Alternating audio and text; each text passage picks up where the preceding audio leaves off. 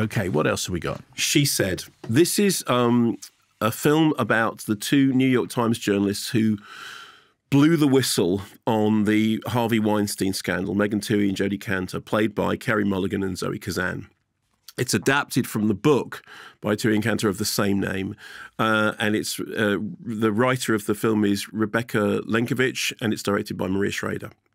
As with so many movies in this genre, it takes a stylistic lead from All the President's Men. I mean, it is two journalists doggedly tracking down leads, working the phones, following the well, following you know, in, following the trail as far as it needs to go despite meeting opposition.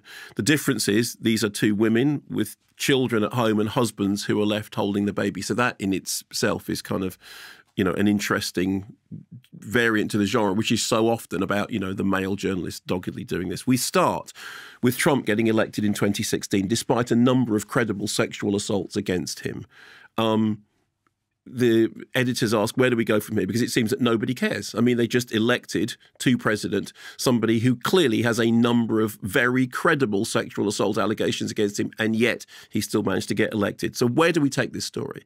Somebody says Hollywood. Hollywood is worth investigating because we know for a fact that you know people have talked about terrible stories in Hollywood, and immediately they get led to a mountain of suppressed evidence about Miramax as being a toxic work environment, and specifically the environs of Harvey Weinstein. Everyone has a story, but no one will go on the record. Rose McGowan has already spoken out, but has been ignored, and therefore is, you know, not particularly sympathetic towards a newspaper now coming to her and saying, We want to do this story. Other key cases, and I know this is recent history, so a lot of people will remember this anyway, include Ashley Judd, who plays herself in the film, recounting her own now well documented experiences. Jennifer Ehle is Laura Madden, who is about to undergo surgery and so has her own personal life issues to deal with, but is a part of this story. And Samantha Morton as Zelda Perkins, who is one of the earliest witnesses to Weinstein's predatory behavior, who has been hushed up via a gagging order. Here is those powerful scenes in the film, not least because Samantha Morton takes everything to a different level. I mean, I think Samantha Morton is just an extraordinary screen presence. And she, I mean, you can see just from that very brief clip, yes. you know, she's not messing around. So the film is a drama, but it also includes documentary elements. I mean, there is an audio tape that was first uncovered by Ronan Farrow of Weinstein harassing an assistant. Um, and of course, we now all know that the way this story finally progresses, that Weinstein ended up being convicted. In fact, even as this film is opening, there is another Weinstein trial going on. I mean, if if if if all things are equal, he will spend the rest of his life behind bars, and deservedly so, because he was a predator on an industrial level. But as that clip says, it's not just about him, it's about an entire system and hierarchy that enabled all this stuff to happen. It is a gripping story. It is solidly, if perhaps somewhat unremarkably told, and it has flopped.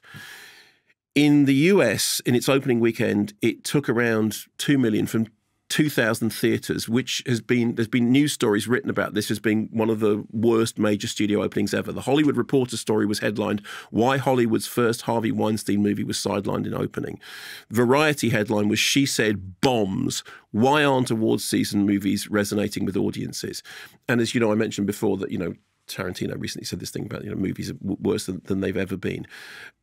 Weinstein's own PR team have gloatingly issued a statement, you know, about why the movie isn't doing well, and and saying Harvey, the film producer, would have known that. No, I mean, you know, which is repugnant on a level it really pains me to say. I think the simple thing is this: the reason that she said had a bad time in cinema in, in the American box office is it's a release strategy issue. You don't open these movies in 2,000 theatres. If you look at Spotlight, it opened in five theatres and then it grew and it built. You look at, um, I mean, that's you know, that's a movie that went on to win big at the awards. You look at The Post; it had a slow rollout, and The Post is a very similar thing in terms of its again taking all the President's Men as its kind of. You don't open these movies in 2,000 theaters.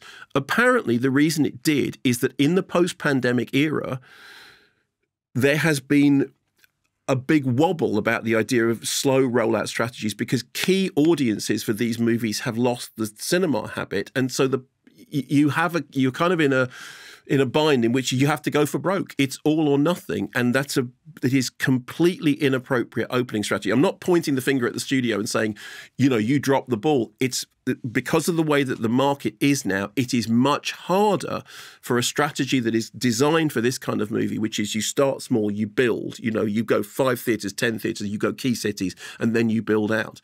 So all the kind of I have to confess, either horrified or gloating accounts of how poorly the box office has done are, I believe, completely unfair to the film and have tell us something about the industry, but they don't tell us something about the film. This is a solidly made, you know, gripping and frankly horrifying story that deserved better, and I believe it'll probably get a better response here. I mean, it's had very good notices, and of course, it's an awards contender because we're now in awards corridor.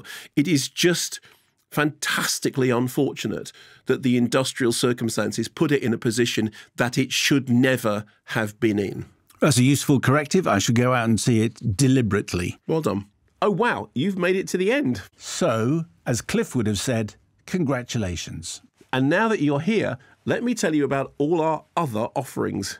We have other offerings? We have other offerings. You know, reviews and big name guests, such as Tom Hanks. Wow. Alicia Vikander. Wow. Tom Hiddleston. Two Toms. If you are a subscriber, you get all the extra bonus features like uh, one frame back, bonus reviews, that kind of thing. And our new feature, Question Smestion. So if you want to keep up to date with all of this here on YouTube, you can subscribe to the YouTube channel. Also go to kermodeandmayo.com for all the new stuff about the podcast. Tap the link. Go on, tap the link. You know you want to.